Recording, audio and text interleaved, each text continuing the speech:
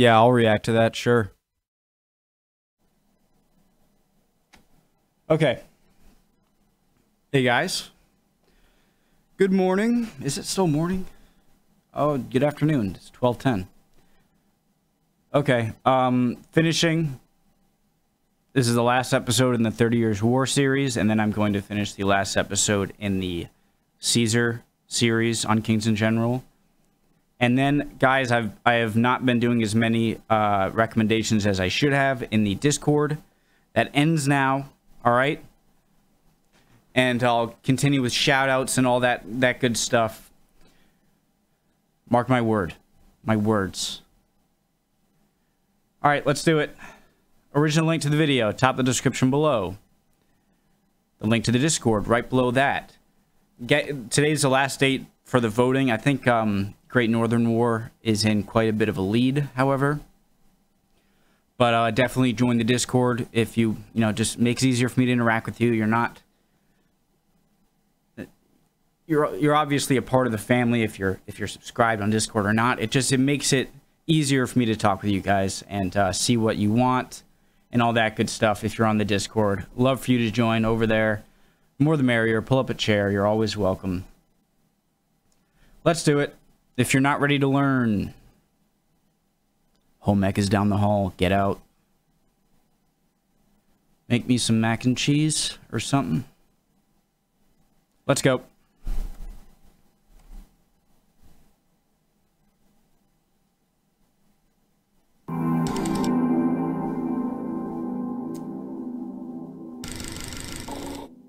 We can't believe that this day is finally here, but today we're releasing the final episode of our series on the Thirty Years' War. As Let's all go! sides were by now exhausted, the armies tried to score victories in order to strengthen the position of their diplomats at the negotiation table. This led to two battles on two faraway fronts, as the French and Spaniards fought at Lens while the Swedes attacked Prague. I'm an idiot. two right? faraway fronts, as the French and Spaniards fought at Lens while the Swedes attacked Prague. Okay. With Oh, half maps. of Bavaria under Franco-Swedish control, Elector Maximilian continued sending panicked letters to the Emperor Ferdinand, asking him for reinforcements or to end the war. However, there were no armies to spare, so the Emperor continued demanding that his diplomats get a peace deal and sent his own letters to his cousin, the King of Spain, Philip, pleading for help. The Habsburg monarch had problems of his own. Portugal and Catalonia were fighting for their independence, supported by the French, and the situation was critical in the east as Condé was operating here. Thankfully, things were about to change. Political circumstances in France were growing tense, as the higher nobility was unhappy with Mazarin's centralization efforts, while the lower classes and the parliament were protesting the tax burden brought by war. Commander of the French troops in Flanders, Gaston Sorry. of Orléans, was one of the leaders of the Commander of the French troops in Flanders, Gaston of Orléans, was one of the leaders of the aristocrats, and he returned to Paris to take part in the events. The Dutch Republic had been passive in its war against Spain for some time now, as the two sides fought to a bloody standstill, and with the death of their leader, Frederick Henry, in 1647, the desire to continue fighting faded even more. Despite the protests of Frederick Henry's son, William II, six out of seven Dutch provinces voted in favour of peace. In January 1648, Spain and the Dutch Republic signed the Peace of Munster, ending the Eighty Years' War between them. This freed up the 25,000 strong army under Archduke Leopold to attack the French, and he started doing just that to force Condé to leave Catalonia. The French leader was moving fast and recruiting on the go, but before he arrived at the front, the Archduke used the inaction of the French Marshal Ranzau to besiege the strategically crucial Courtrai in April. However, the Spaniards got bogged down, as the heavily outnumbered garrison proved to be stalwart. This bought Condé enough time to reach the region, bringing the total strength of the French armies to 23,000, comparable to the Spanish. To get a supply line for Courtrai, Condé attacked Ypres on May 12th, and the city fell 10 days later. Still, Condé didn't have enough time to reinforce Courtrai, and it was conquered by Leopold on the 23rd. In June and July, armies maneuvered around, wrestling for position, and the French commander sent a contingent under Ranzau to attack Ostend. However, the Spaniards were able to read the situation.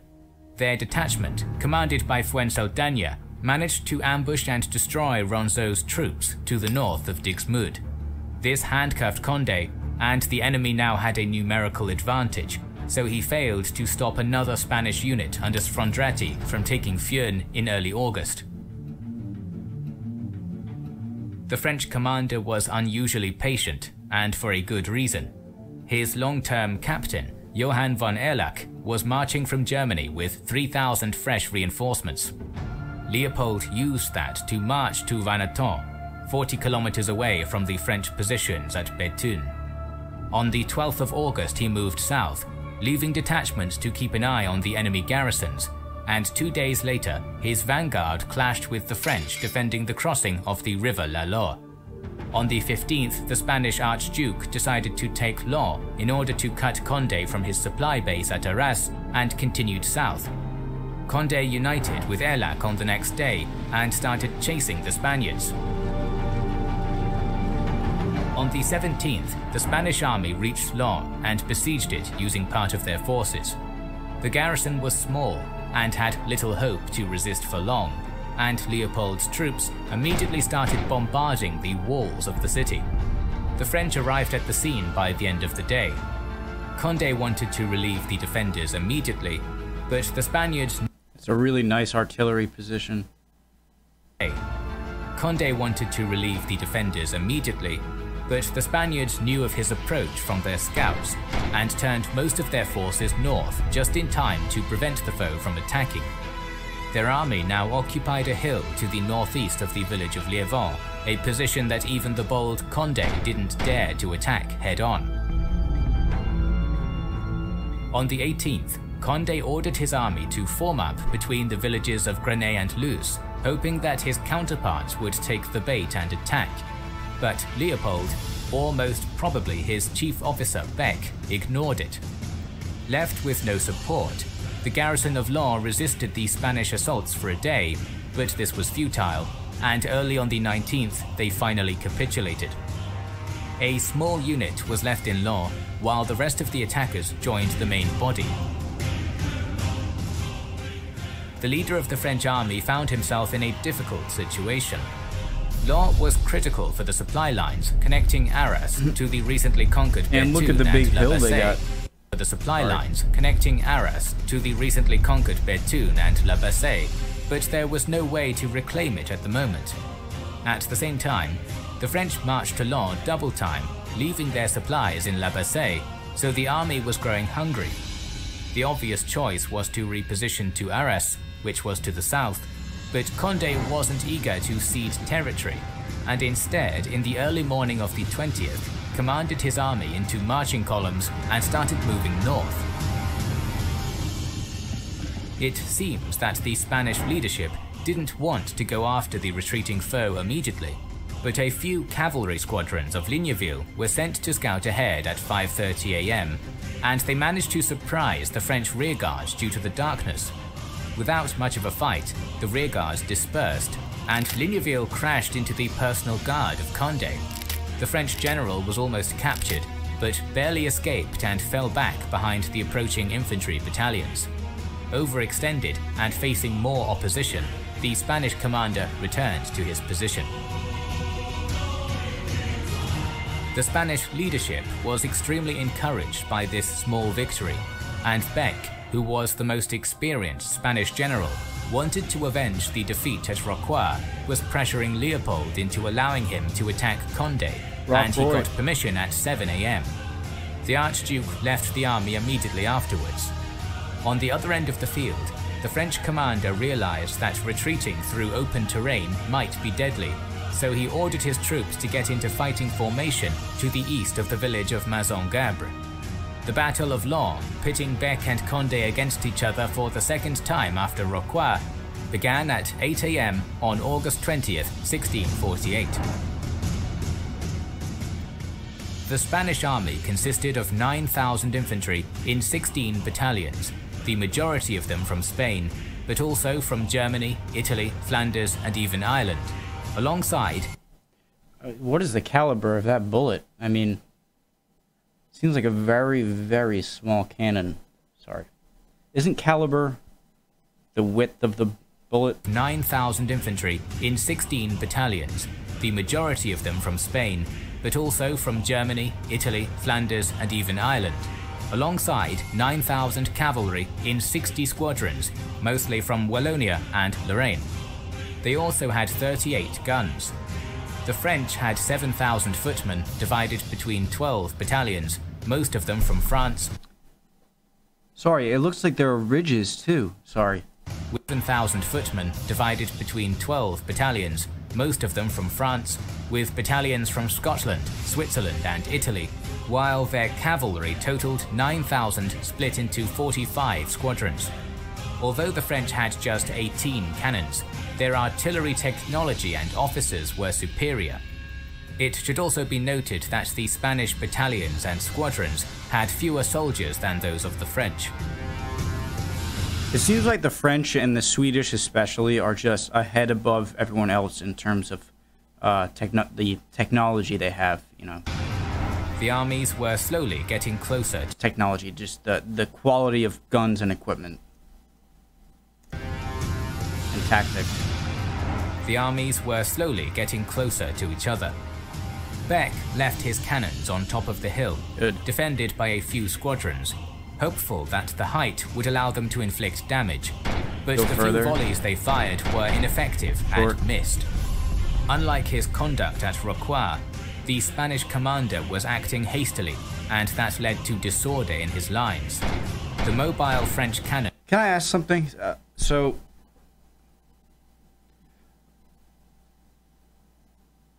when does the artillery go from go to more of a vertical, not completely vertical, but like an 80 degrees, 70s, you know, a certain incline that you think of mortars in the First and Second World War, where you're not exactly shooting right at them. You're going at a high angle and you're, you know, calibrating it to get the right position.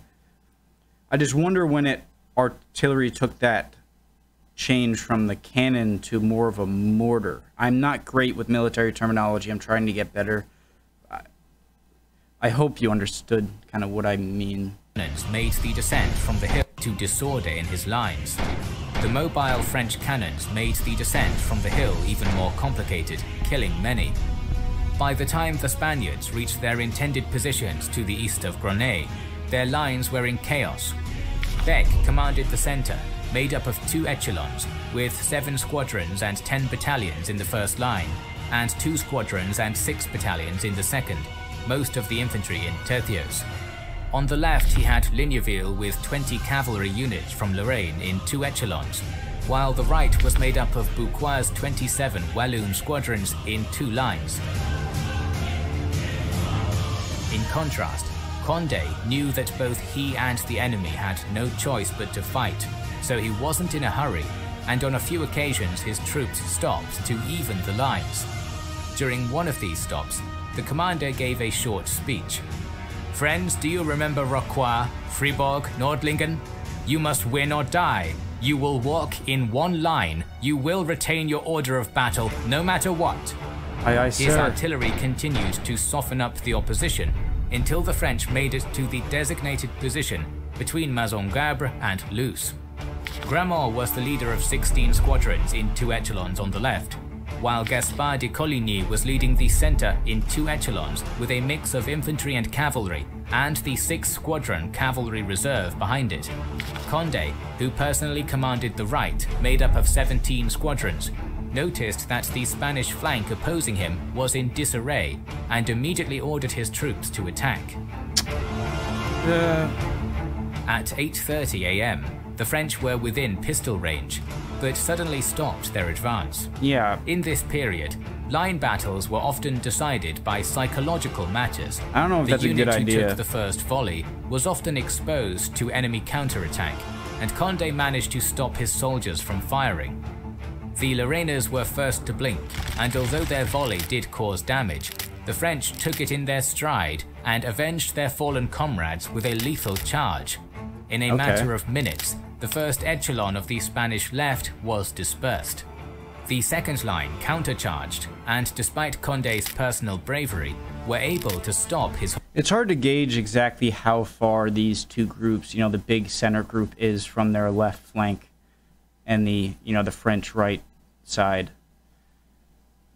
I, I figured, you know, if this if if this guy went in like he did, then with your army way back there, they might be able to attack. Maybe they don't want to ruin formation, or maybe it's just a further distance than I than I think. countercharged, and despite Condé's personal bravery, were able to stop his horsemen. But Erlach, who read the situation perfectly, brought his reserve cavalry forward and attacked Ligneville from the left. Attacked from the front and flank, the Lorrainers weren't able to hold for long, and by 9 am were fleeing. The leader of the Spanish right, Buquois, was a veteran of countless battles against the French, and he was used to the daring charges of their cavalry, which were usually countered by pistol or musket volleys and then swords. However, Gramont decided to change this rhythm. To the surprise of the Walloon horsemen, the French gallop stopped just within musket range, and as the officers were still not able to form up their troops, they discharged the volley, which was ineffective. Immediately after that, Gramont charged into the enemy, and after a short engagement, the Walloons broke and were driven off the field. After 9.30 am, Gramont and Condé met in the vicinity of Liévin and then charged uphill, dispersing the Spanish reserves and taking their artillery. In the center, the battle was much more difficult for the French. Initially, they attacked the Spanish center and successfully pushed back the line. But at some point, the French and Swiss Guard regiments became the victims of their own success. I wonder you guys think was more of a capable army, the French or the Swedish? The French and Swiss Guard regiments became the victims of their own success. They advanced too much, and when the Spanish cavalry in the center counterattacked, the rest of the French center was forced to retreat, and these three battalions were basically surrounded. Taking heavy casualties, the guard units slowly retreated, but the Spaniards were chasing and pushed beyond the second French center echelon, taking over the enemy artillery. Thankfully for the French, buoyed by the Scottish and Picardy regiments, they were able to reform their lines and stop the Spanish advance. That is when the Spanish center realized that its flanks were gone and it would soon be attacked from all sides. While cavalry squadrons and the infantry that was on the left managed to break away and retreat, the majority of the center was entrapped by Condé and Gramont. Unlike Rocroi, there was no lengthy resistance and Beck's units surrendered. The commander himself was heavily wounded and became a prisoner of war, dying 10 days later despite the efforts of the French surgeons. The Spanish losses were between 6 and 10,000 depending on the source, while the French casualties were around 3,000. This was the greatest victory Condé gained in his illustrious career, his Austerlitz and Breitenfeld. Some French chroniclers claim that his move to the north was a feint to draw the enemy from the defensible position. In any case, Condé and Gramont's talent, Erlach's timely attacks, and the superiority of the French cavalry decided the fate of this battle. I gotta take a piss, guys. Be right back. Okay, sorry. Back. Superiority of the French cavalry decided the fate of this battle. It seemed that nothing could stop Condé's conquest of the Spanish Netherlands, but events were transpiring back in the capital. Emboldened by the victory at Lens, Mazarin arrested the leaders of the parliament and it backfired, as Paris did what it does best. The populace revolted and the barricades rose in the streets, starting a five-year insurgency called Fronde.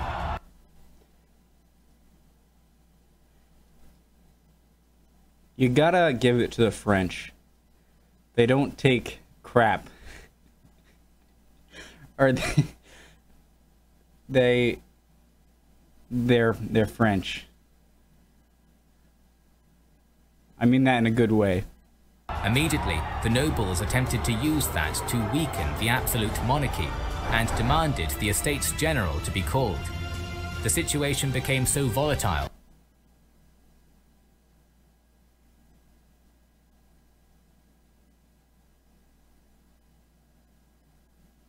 that the 10-year-old Louis XIV, his mother and Mazarin were forced to leave the city. Mazarin immediately ordered his diplomats in Munster to finalize the negotiations, while Condé was asked to march back and take Paris from the rebels. Rulers always try to use military force to strengthen their diplomatic positions, and this war was no different. So Sweden was looking for its own massive victory to get a better deal from the emperor. As we mentioned before, Königsmark was sent towards Bohemia to reinforce the Swedish forces under Prince Charles Gustav.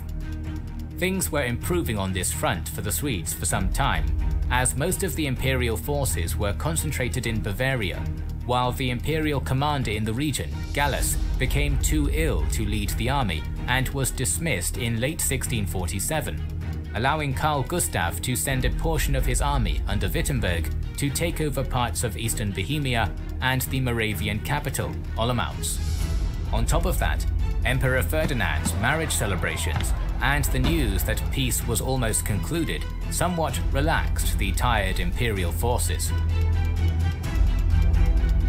In late July, en route to assist Wittenberg, Königsmark had another encounter with Ernest Odowalski, a former imperial colonel dismissed without payment and now keen to have his revenge. Odowalski told the Swedish commander that the defences of Prague were lax and the city was ripe for the taking. Königsmark had only 3,000 troops under his command, but he thought that would be enough, as the majority of the Prazens were Protestant, and he thought that they would be eager to get rid of the emperor's Catholic yoke. In reality, the Czechs loathed the conduct of the Swedish troops during the previous campaigns in their country, and now saw the emperor as the guarantor of peace and stability. Königsmark's first moves didn't help. Instead of approaching the city peacefully, the Swedish leader listened to the wrathful colonel, deciding to attack to get the Czechs' submission. The Swedish colonel, deciding to attack to get the Czechs' submission. The Swedes advanced to the city from the west and were noticed by the commander of the city, Field Marshal Rudolf von Colloredo. Part of the 2,000 strong garrison was ordered to reinforce the western walls of the city. Odowalski, who was stationed in Prague before, knew its weak points and the fact that the western walls of the city were being reinforced, but the works were not over.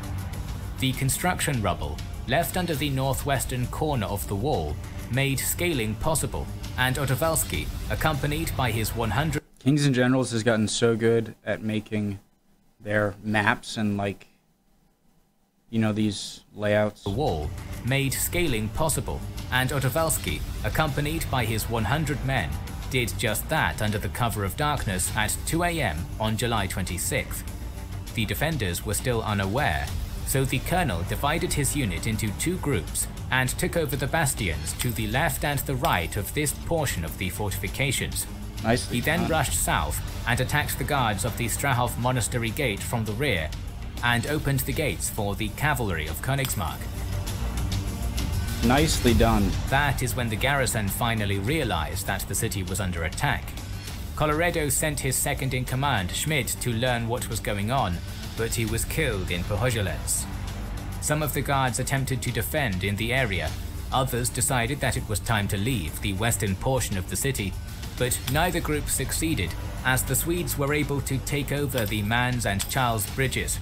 Most of the defenders were cut down, and although Colloredo He's lost swimming? as much as half of the garrison, How did he get across? Did he down, swim? and although Colloredo lost as much as half of the garrison, he managed to get on a boat and cross the Vltava River. So often, if I just shut up and listen, my, my question will be answered. for him, the portion of the city the Swedes just occupied was full of riches, as the gifts nobles were sending were collected there, which meant that for two days the attackers were only interested in looting.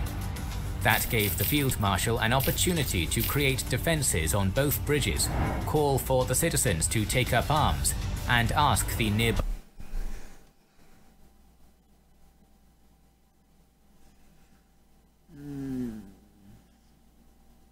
Worry about looting later. You know, all it takes is one or two guys getting some really nice stuff for other people to be like, well, if I don't loot now, then everything will be gone. And then it, starts, I'm sure it starts a chain reaction. You need complete discipline in your army, or else one or two bad guys can start a chain reaction of looting, and then you forget about your main objective.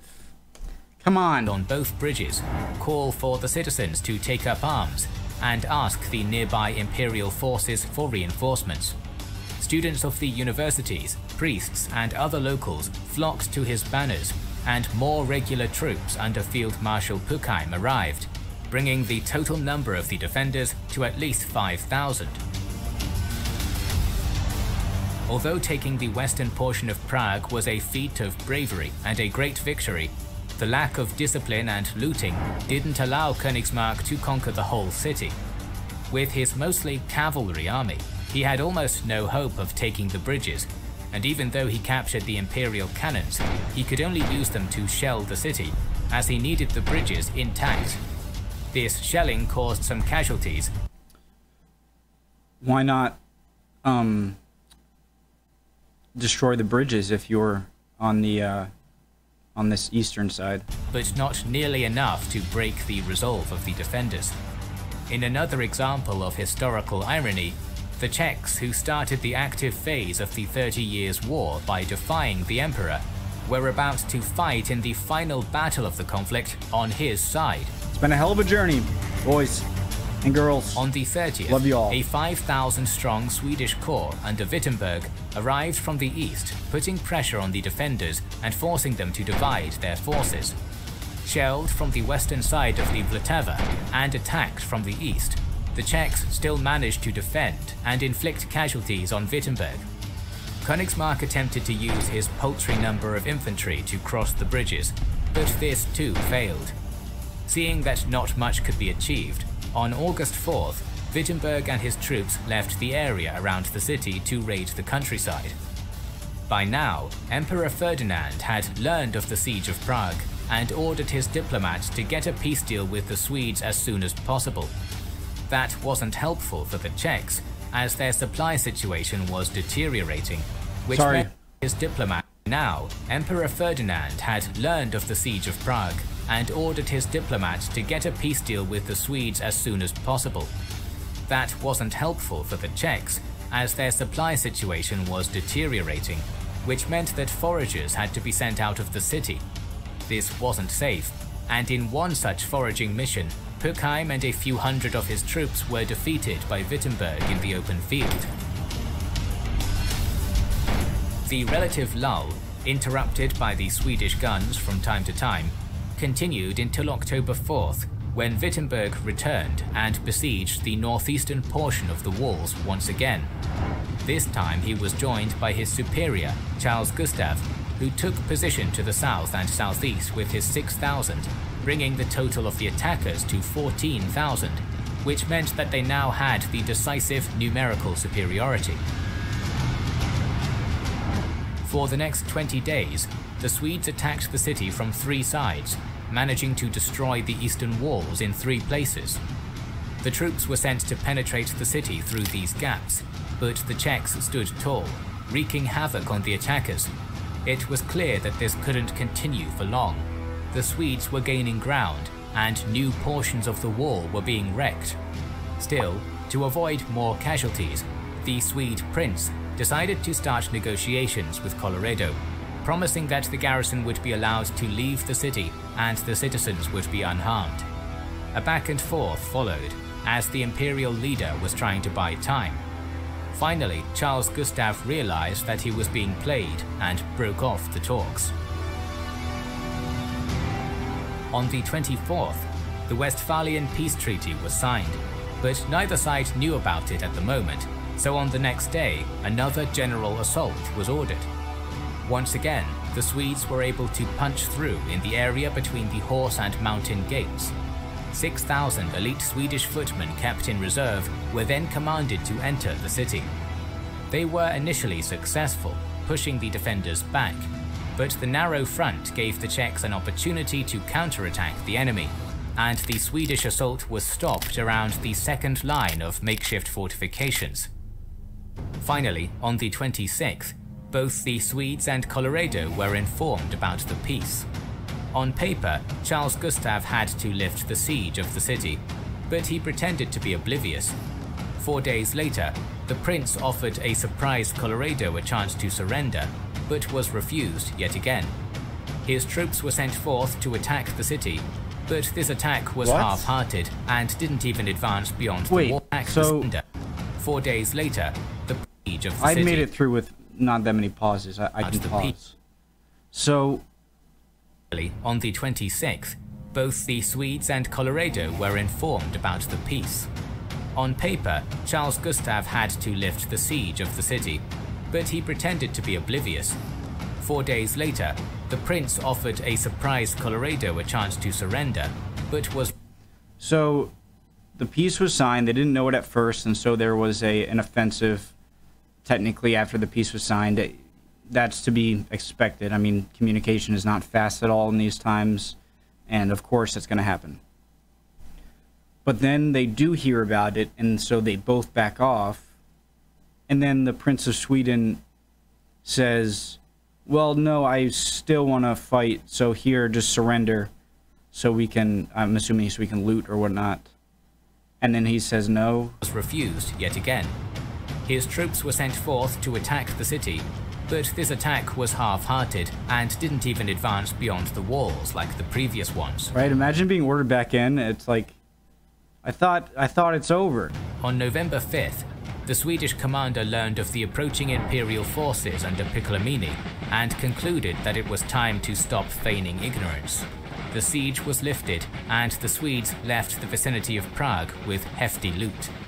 Nonetheless, the gallant defenders of Prague entered into history and probably prevented the Swedes from getting even more from the peace treaties. But what was the Peace of Westphalia? As we mentioned previously, diplomats were negotiating in the cities of Osnabrück and Münster for some time in the first ever example of a peace conference. I find that so cool um, that the entire time that, or maybe not the entire time the war is going on, but for a good chunk of the latter part of the war, um, there are politicians of both sides. I don't know if you call them politicians or what, just leaders of both sides negotiating peace. And I find that very, very, a very cool part of war that I would like to learn more about. It'd be cool if there are any videos that are like strictly about the peace, that are strictly about those people, like talking on either side to, to try and get um, some kind of deal. And of course, when it's rejected, the, the fighting key, uh, continues. As these cities were in the region of Westphalia, the document signed on October 24, 1648, became collectively known as the Peace of Westphalia.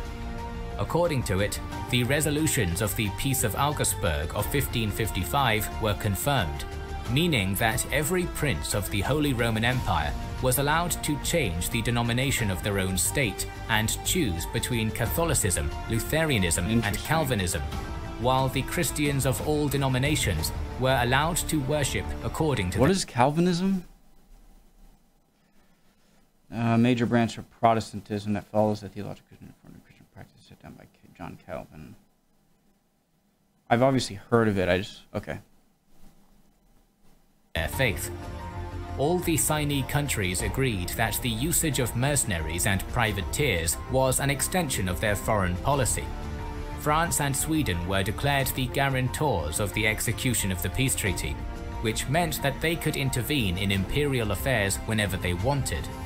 The old Swiss Confederacy, who leveraged its neutrality, and the Dutch Republic, who won a bloody war against Spain, were declared independent and outside the boundaries of the Holy Roman Empire.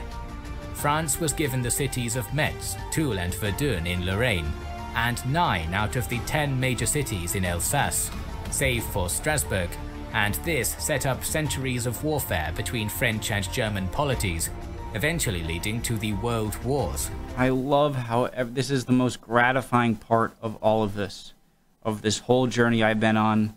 I started my reactions in January 2021. It's been a few months, eight or nine months, ten, nine months, and just it's it's these moments where you you see things, uh, parts in history connect with each other, and no no period of history, no historical events sit in a vacuum. They're all connected, and this is one of the most gratifying moments uh, of watching these videos. Sweden received 5 million thalers of compensation, as well as part of western Pomerania, Wismar, Bremen and Verden, while Gdansk was returned to Poland-Lithuania. Brandenburg Prussia received eastern Pomerania, but the border between the two Pomeranias was not determined, leading to future conflicts. Bavaria retained its vote in the Electoral College, but the new Prince Palatine Charles I Louis got the western portion of his family lands back, along with receiving the eighth vote in the Electoral College. Free trade was implemented on the River Rhine. The war between France and Spain wasn't concluded, despite all the efforts of the Emperor, meaning that Spain was now fighting France on its own, which weakened the Habsburg alliance. The Thirty Years' War was one of the bloodiest up until then, causing the death of at least 8 million people, most of them in Germany. But it didn't solve the issue. 8 million people said, uh... was one of the bloodiest up until then, causing the death of at least 8 million people, most of them in Germany, but it didn't solve the issues that haunted both the Holy Roman Empire and Europe at large, and that led to the continuation of conflicts all over the continent. I wonder what that uh, death toll number, the casualty number, or death number, I know casualty can be injured as well. I wonder what that death number is if you inflate it to uh, represent, you know, the change in population. We're planning to eventually cover every major conflict of this era. You're so, so good, sure Kings you in General. subscribed and have pressed the bell button. Absolutely. Please consider liking, commenting and sharing. It helps immensely. Our videos would be impossible without our kind patrons and YouTube channel members whose ranks you can join via the links in the description to know our schedule, get early access to our videos, access our Discord, and much more. This oh, is the Discord. Kings and Generals channel, and we will catch you on the next one.